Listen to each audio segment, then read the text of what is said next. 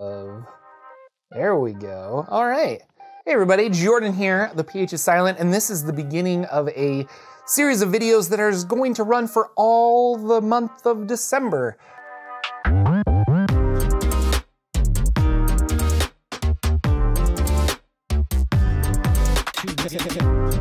I don't know what I'm doing. I will tell you that right off the get-go. So I wanted to create a custom homebrew world. I've never done this before, and I've always played games in the Forgotten Realms, D&D, and, or, or the settings that have been provided for me. And I will arguably say that I always make it my own. I'll take this setting and I'll I'll be like put a Jordan spin on it in some ways. So you're really playing in the Jordan Forgotten Realms. I throw out the bits I don't like, I keep the bits that I do like. But I've never created a campaign setting for a for a fantasy role-playing game from the ground up, and I wanted to do that challenge. Now, a lot of YouTubers in the month of December will do something called Vlogmas, where they they do a video blog every day for a month. I decided to incorporate both of those, and so we're going to create a campaign setting um, through uh, the month of December. And we'll, we'll see. I'm really nervous because I've never done anything like this, and vlogging every day is uh, kind of intimidating, but I think it will be a good exercise to keep me motivated and keep me uh, focused because if I have you to hold me accountable, i.e., I just was like, I have to release a video today, then uh, I think I'll be more, more in, in, I'll, I'll be more likely to finish this whole process. Um, I found a website that is a Creative Commons course for writing uh, novels, creating a fantasy world or creating a world for your novels. And it seems kind of directed at like young adult novels for NaNoWriMo, like the November Writing Challenge, the book challenge but I there's a lot of really good principles there, and I wanted to go through that. So if you are interested, there are links down below in the doobly-doo, and you can go on this journey with me, and maybe through the month of December, we can all have really cool homebrew worlds for our uh, yeah, for our game. I think it'll be really cool. Um, I'm excited. I'm nervous, uh, and uh, oh, I also wanted to say on top of the uh, Creative Commons uh, book challenge thing there is uh, Absolute Tabletop made a explain your custom campaign setting in 30 days. And so every day they were asking another question that you should answer about your campaign setting. So for the month of December, um, for this Vlogmas in a way, I'm going to do a video every day and we're going to do the exercise that the uh, book challenge website wants us to do. And then I'm going to answer the question that uh, the absolute tabletop uh, people have presented to us. Um, I will link both of those down below uh, in the uh, comments. And yeah, maybe you guys can do this with me. Tell me all about your world. I think it'd be really cool. Uh, this is going to be day one, so I'm I'm filming this on uh, November 30th so that I can release it tomorrow on the first, and we're going to go all the way till December 30th.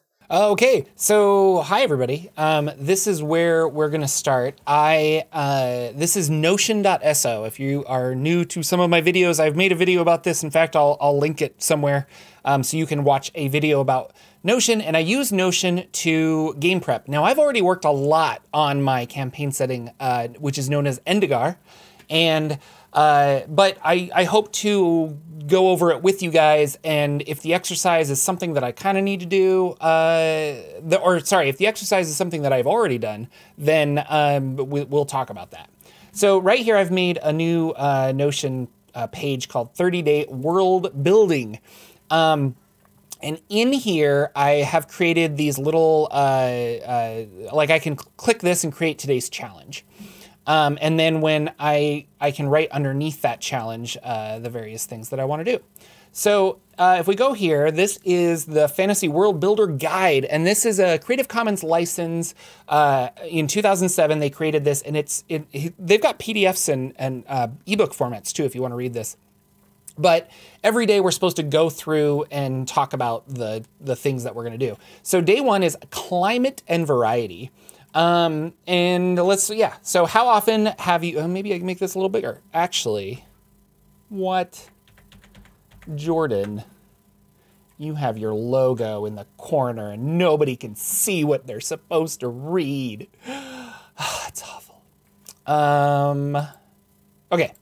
I will fix that in later videos. Uh, how often have you ever read a book or story on the ice planet or the desert planet? These things simply do not exist. Humans are immensely adaptable. If there's a section of the world they don't live on, they will do their best to figure out how to get there. There are now people living on platforms on top of the sea, as well as people living in habitats under it. The Middle East, the most hotly contested region in the world, is in the middle of a desert. The reason why books and stories try to limit the climate to one type or another is because the author wanted to hit upon a mood or theme by presenting the story in a setting that is somehow related to that mood. Who doesn't have some emotional response to a frozen wilderness or a lush, verdant field? Uh, today's exercise is go out or get out a map or go to an international website uh, like National Geographic and look everywhere Antarctica, Saudi Arabia, the rainforest of Brazil, the rainforest of Central California. Look at how different the climates behave and appear. The first 15 minute exercise is to write down all of the different climates you can think of.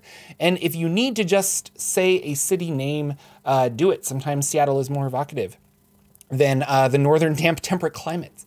Uh, write these names down in a list. Then go through that list and write one or two words that describe how that climate, either the word itself or the way the place itself may have made you feel.